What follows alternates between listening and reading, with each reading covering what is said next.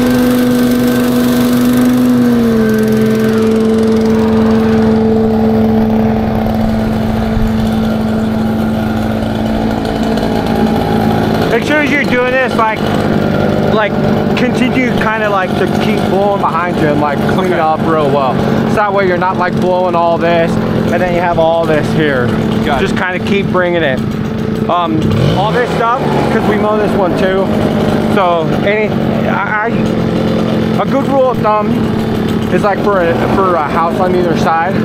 I like to go anywhere with probably between like three and five feet into the other lawn Okay. just to make sure we get anything that we might have accidentally blown into their lawn. Okay. So Got it.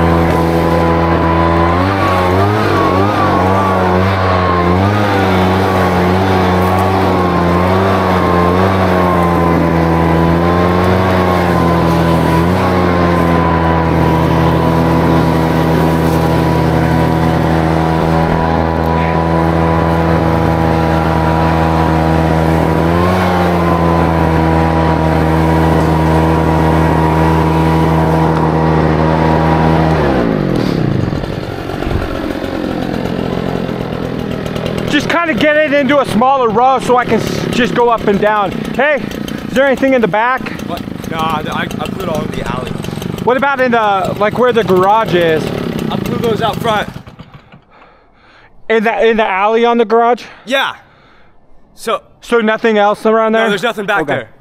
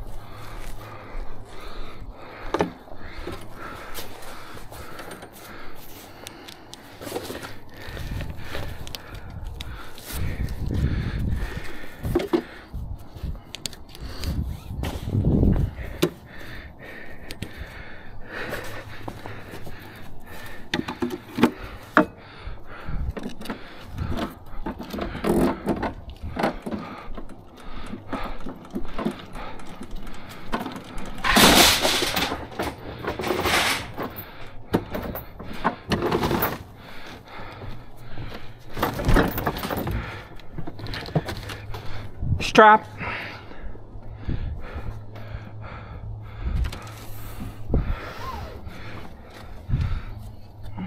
Ah.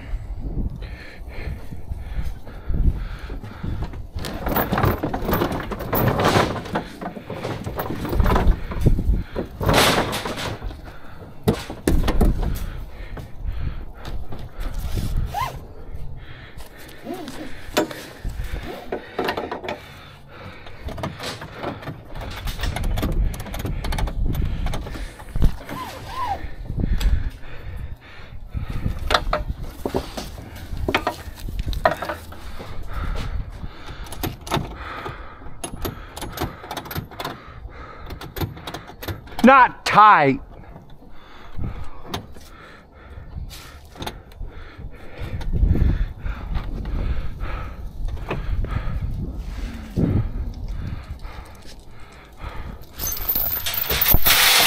Let it hang out.